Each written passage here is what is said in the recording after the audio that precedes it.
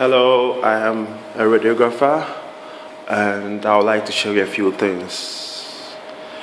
A few of the equipments that we use and yeah, so enjoy. Okay, first and foremost, I would like to start with uh, our DRF, more like the X-ray, more general X-ray. And this is how it looks like. Okay, so So we have the X-ray tube, this one, and we have the erect Bucky, and we have a couch here, and we also have our console here. Yeah, there's the console, and we operate everything here. So after printing, everything is digitalized. So you print it here, and you get your image here, and you print it through another printer elsewhere. Okay, so yeah, that's about the X-ray, and this is the changing room.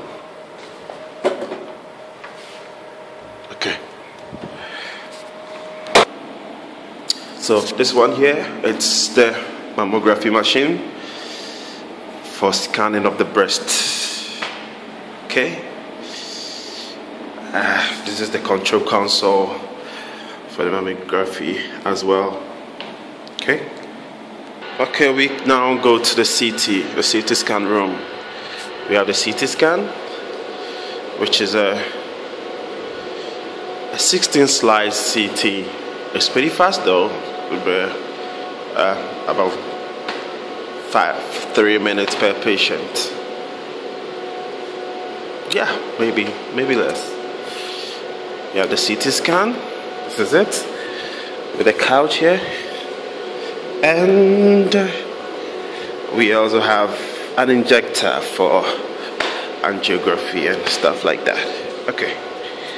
Now we go to the MRI room too. Okay, sorry, sorry, sorry. This is the CT scan control console. Yeah. So that's the control console. And this is the MRI control console. Kind of looks sim kind of looks similar though, but the MRI is quite different from the CT scan. CT scan mostly uses no, no. CT scan uses X-rays, and um, the MRI uses magnetism. We have a very huge electromagnet in there that we use in there. So this is the MRI. We can't go in because uh, because of the metallic properties of what I'm holding. So we just stand here and stare from afar. So there's the CT scan, uh, the, uh, sorry, the MRI, and it's a 1.5T. MRI. It's quite cool though. Very expensive. Alright, so this is just my review. Uh, my first YouTube video. Not my first though, but just one of them. But the first in about a long time. I hope you enjoy it. Okay. Okay, bye bye.